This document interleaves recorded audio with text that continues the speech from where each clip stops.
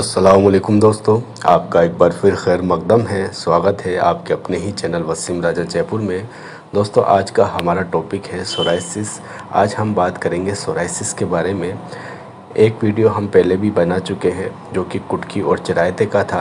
आज का जो हमारा नुस्खा है, वो बहुत ही आजमोदा है, कारगर है, आजमाया हुआ है। इस नुस्खे को हकीम दिलबर ख़ान ने उस ज़माने में अंग्रेज़ों का जब ज़माना हुआ करता था तो काफ़ी अंग्रेज़ों का इसी नुस्खे से इलाज किया था, जो कि यूरोप के बड़े से बड़े डॉक्टर भी इसका इलाज नहीं कर पाते थे।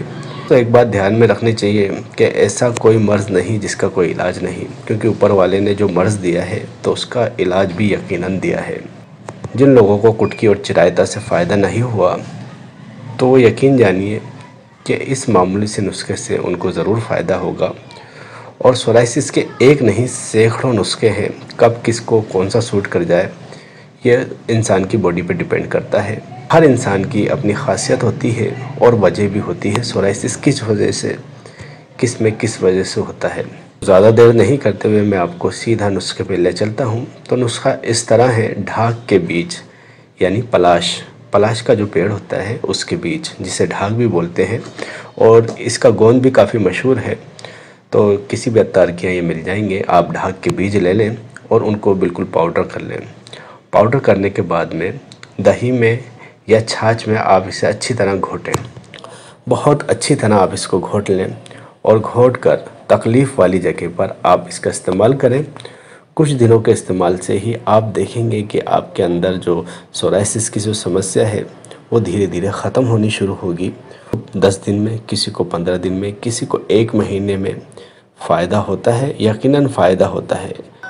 आप इसका मुसलसल इस्तेमाल करें और यकीन के साथ करें कि आपको फ़ायदा होगा। तो ये बहुत ही मामूली सा नुस्खा है, लेकिन बहुत कारगर है। काफ़ी लोगों ने इसको आजमाया है और ये किसी रामबाण से कम नहीं है। जो सोराइसिस के मरीज़ हैं, उनकी परेशानी सिर्फ़ वही समझ सकते हैं। वो दुनिया भर के इलाज करा के थक चुके हैं। तो इसको भी आजमाने में कोई दिक्कत नहीं है। एक मामूली सा नुस्खा ही उनकी इस बीमारी को जड़ से ख़त्म कर देगा। हाँ वैसे तो और भी सोराइसिस के बहुत सारे नुस्खे हमारे पास हैं। बाई चांस अगर किसी को इस नुस्खे से भी फ़ायदा नहीं होता तो वह हमसे कांटेक्ट कर सकता है, या डिस्क्रिप्शन में या कमेंट्स कर सकता है। हम उसको दूसरे भी बहुत सारे नुस्खे हैं, उनके बारे में ज़रूर बताएँगे। वैसे मुझे उम्मीद है कि इस नुस्खे की बहुत तारीफ़ है।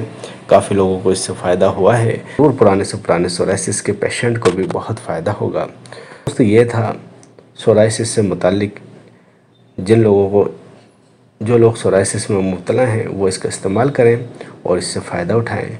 तो दोस्तों, फिर मिलते हैं अगले वीडियो में। एक नए नुस्खे के साथ, तब तक के लिए खुश रहें, खुशहाल रहें गुल गुलजार रहें। All the best